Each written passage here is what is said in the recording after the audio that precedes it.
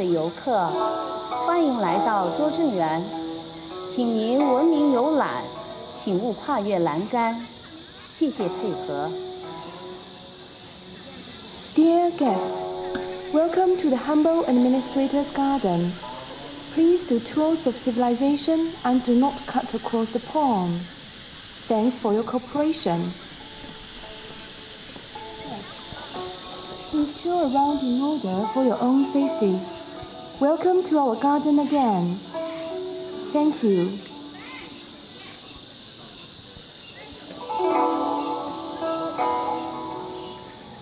这个园林的景观和道路的关系，就像中国画中间用毛笔画出来笔墨和留下的空白的关系。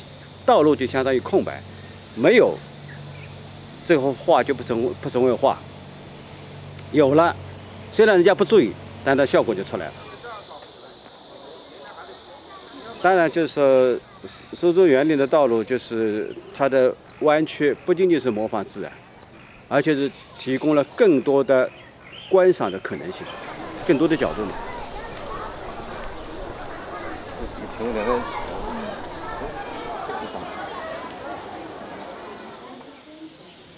这个图案是一个非常综合性的图案。首先，它是求长寿的；其次是求幸福的，因为中间是讲一个“寿”字，旁边五个是五个蝙蝠，就表示五福临门，五种幸福的临门。哎，又要长寿，又要幸福，生活质量很高。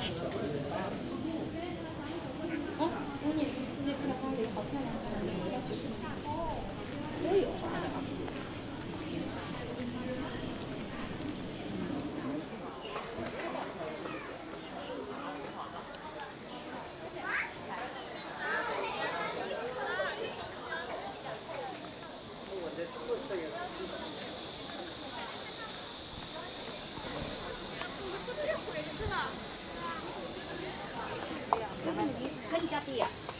这个这个我们配着点，是吧？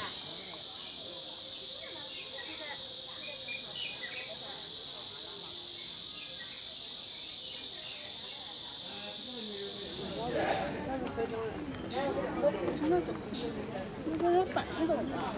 他，我不跟他要啥了？啊。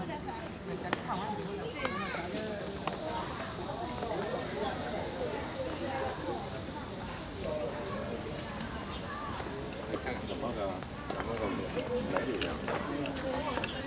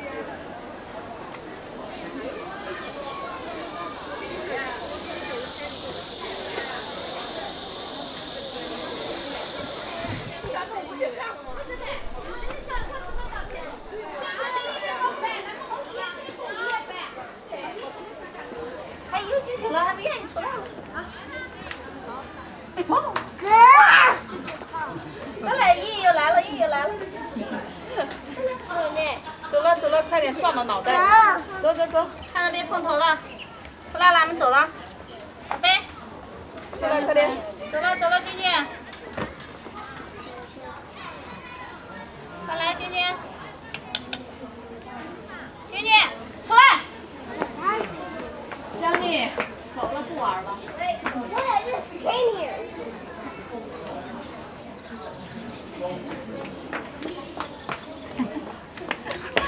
好爷爷了，快走快走，照个相啊。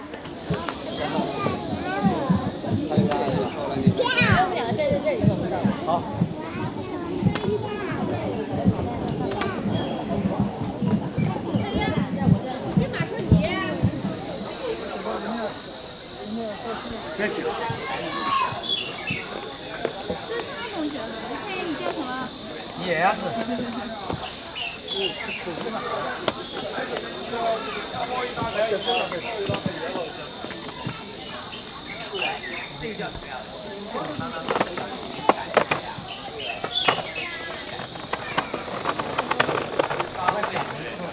这个叫什么呀？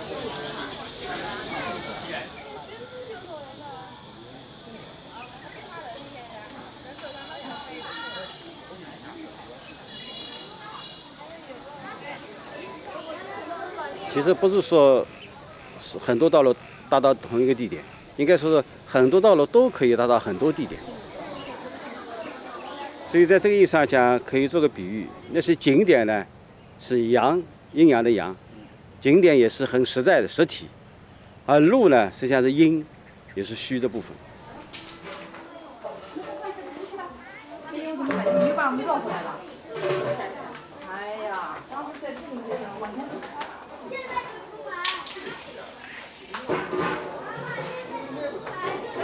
这个就是中国结，就是表示表示所有的路都是相通的。尽管这个相通是在一个闭合的系统里面，但这个呢就是非常有中国特色。所以所以只要只要是通的，它就是活的，它就是有生命力的，这就是中国结的意思。